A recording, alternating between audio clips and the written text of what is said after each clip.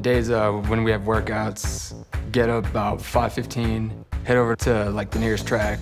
Once we're there, and then once we start doing the drills, it's when it kind of like starts waking up your body, start getting you moving, stuff like that. It's kind of like high knees, but you kind of like do a step in between, and you want to just get your knee as high as you can. Like, don't really force yourself to get it too high. It's enough to where it like puts a decent stretch on you. Stretching is really important. It's pretty much the, like the number one thing to prevent you from getting injured. You're preparing yourself to do something that's going to put a lot of stress on your body, so you need to warm it up.